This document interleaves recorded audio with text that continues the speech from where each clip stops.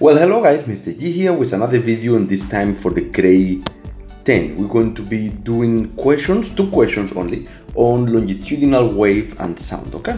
So, um, and this is the last video we're going to make on the topic, then we're going to do another topic.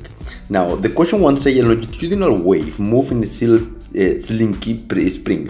On the moment on the moment, show below position A and B as respectively the midpoint of the compression and rarefaction and is 24 centimeters apart. What is the wavelength of the wave? So the first thing we're going to check is to mark how many waves are represented here because the wavelength is for one wave.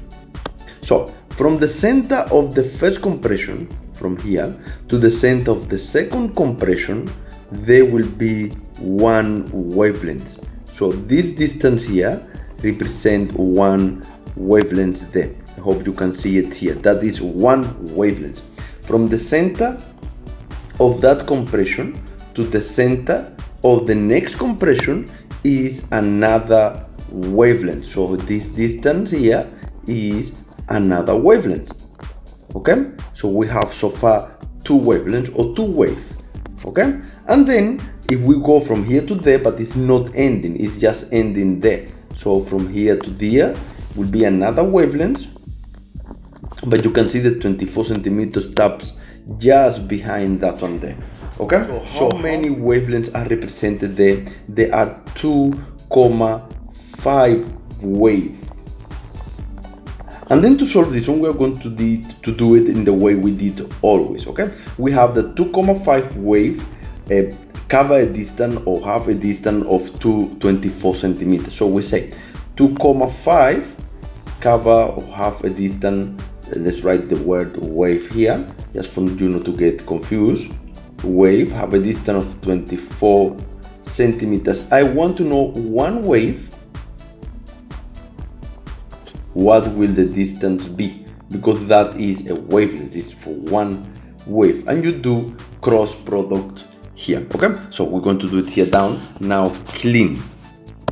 So here we are and now we do the cross product here therefore we're going to have 2 comma 5x equal to 1 multiplied by 24 centimeters. Note we're working in centimeters. So this x is going to be equal to 24 divided by 2 comma 5 okay? So the answer here is 9 comma 6 9 comma 6 centimeters now if you want to convert to meters now if you want to convert to meters then you have to get that answer and divide by a hundred to convert to meters. Okay, so wavelength here will be equal to 9,6 centimeters divided by 100 and will be equal to 0,096 meters. I don't think it's a need because the question doesn't ask you to to give it in meters, but the SI unit of wavelengths is the meter. So we never know. But you can convert it it's quite simple. So that was the first question. It's very simple guys. Okay? Now it takes 1,5 seconds for compression to move from a to b. So now we're going to do exactly the same but to calculate period because period is needed for the speed and also is needed for the frequency. However there are other ways of calculating speed.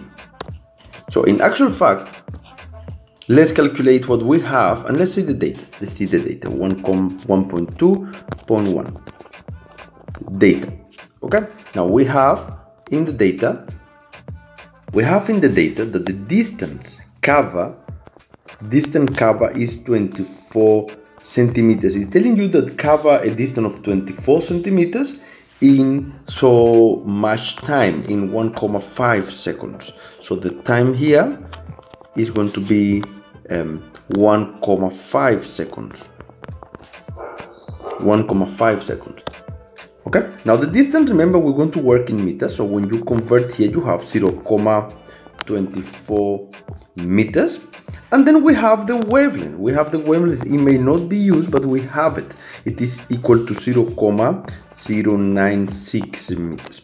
And we're looking for um, speed of the wave now the speed of the wave the formula of speed by definition speed is equal to distance divided by time. There are other formulas, but we have this one here. The distance is given 0, 24 and the time is 1, So if you substitute there, you will be able to calculate the speed, which is going to be 0, 0.16 meters per second. So this is the answer of the question. So we didn't have to calculate period. However, it's very easy to calculate the period. So in case somebody want to calculate it, you can say that 2,5 wave takes 1,5 seconds. So one wave, how long will take that? That will be the period and you do cross product again. So you have 2,5 x equal to 1,5 and when x is equal to 1,5 divided by 2,5 that will give you the period so x which is in actual fact the period of the wave will be equal to 3,75 and when you calculate you get that the period is going to be equal to 0, 0,6 second. And now the period is not is not the answer. The answer is the speed. But speed remember guys you don't have to do this. This is just another option okay? So speed is equal to wavelength divided by period. The wavelength is going to be 0 0.096 divided by the period which is 0 0.6 and you will get equal to 0 0.16 meters per second. You can see is the same is the same as the okay? It's just another option. It's in case somebody want to calculate the period and it's a good practice with this thing here of the cross product there okay? So now that's it. And now the next question is calculate the frequency of the wave now according to the data we have the speed we have the wavelength. And this is question 1.2.2 okay we have speed and we have wavelength. I'm not going to write the data again. And all we have to do is to use the formula. Speed is equal to to frequency multiplied by wavelength. And if you substitute here the speed was 0 0.16 0 0.16 the frequency you are looking for the frequency and the wavelength was uh, 0 0.096 so frequency when you rearrange this one frequency will be equal to 0 0.16 divided by 0 0.096 that is going to be the frequency here. And you will get that the frequency is equal to 1,67 hertz okay? Okay guys and this is the first question. It's quite simple. The first question is, is quite very very simple and it's the same work as longitudinal wave. Just apply to the, it's the same way as transverse wave just apply to longitudinal wave. So let's go to the next question so, question 2 is here. Two nodes P and Q have the same frequency but the amplitude of P is twice that of Q. Draw the sketch of P and Q to show the wave pattern on each node as it appears in the oscilloscope. Now I want you to notice the following. The oscilloscope will show a wave pattern okay so you won't see a wave of sound here represented with lines or anything like that you will see it re represented with a um, with a wave that will look like a, an ox, um, oscillation there okay? So it is a little bit tricky because you don't see uh, an oscilloscope i'll try to do an experiment sometime with an oscilloscope of sound so you can see it how it appear how does the pattern as appear. But all you have to do is to draw an oscillation sine or cosine in uh, of these nodes p and q. So let, let's let's do here. Now what they want to see the pattern the pattern and they're telling you that the um, node P, we're going to represent here P and we're going to represent here node Q. Here node Q. So you need to know that the pattern have the same frequency. So um, we are going to represent just one wave for each of them. Okay, so for P, for example, will be starting from here, going all the way down, all the way down, and it's going to end. Um, let's fix this side here, all the way to there, and it's going there. So this one is going to be P. Alright, remember this is not the longitudinal wave, this is the pattern seen in an oscilloscope of a sound wave. So it's not longitudinal wave, this doesn't represent this doesn't represent the motion of the particles, okay? This represents the, uh, the oscillation. Okay, it's a little bit tricky, but we'll talk about that. So later on, I'll try to set up an experiment so you can actually see it.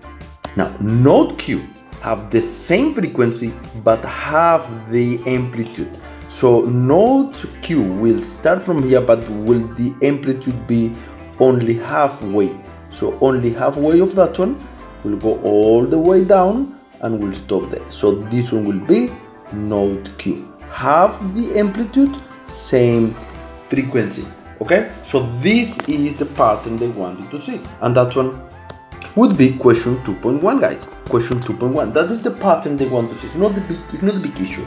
It's confusing because of the word oscilloscope, and will I'll, I'll promise I'll show you something like that. Okay, so let's go to the next question. Next question say compare the pitch and loudness of the two notes. Now pitch and loudness. We're going to do that question here. Now the pitch remember have to do with the frequency and they have the same frequency therefore they have the same the same pitch same frequency, same pitch. Now what about loudness? Now what about loudness? P have a double amplitude. Remember loudness is related to amplitude. So if P have double amplitude, it will have double or two eyes twice the loud of Q. Okay, so P will be twice as loud as Q. it is not difficult because loudness is related to amplitude.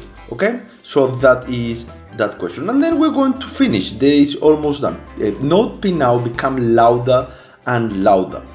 State what will happen to each of the following. Write down only increase, decrease, or remain the same. And this is quite simple. If you increase the loudness or it become louder, wavelength, what will happen? It will nothing happen It will stay the same because a wavelength have nothing to do with the uh, loudness of the wave okay frequency well it remains the same why because frequency have to do with pitch. Pitch is the one that affect the frequency or it, it is the same as frequency in sound wave. And amplitude will get bigger. This one will be bigger because loudness have to do with amplitude okay? And this is the question we are done. This is all for now. We saw two questions related to um, longitudinal wave and sound. I hope it helped so please write messages uh, you can suggest a video if you want to, to make a specific video uh, but for now that's all. Thank you for watching i'll see you next time. Subscribe for the channel. Time up mr g here